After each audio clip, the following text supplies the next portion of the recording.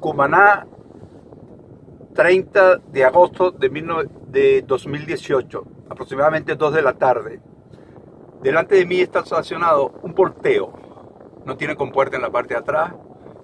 Va lleno de personas. Lleva una pequeña escalera de aluminio que por supuesto sirve de escalera para la gente bajar y subir. Esta es la tragedia del transporte en Venezuela. Este, esta es una de las tantas tragedias que padece el pueblo venezolano gracias a la revolución socialista.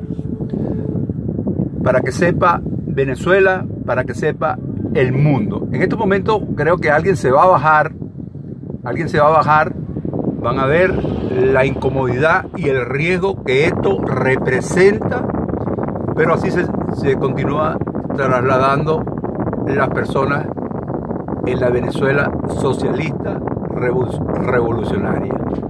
Buenas tardes, esperamos que salgamos de esta pesadilla.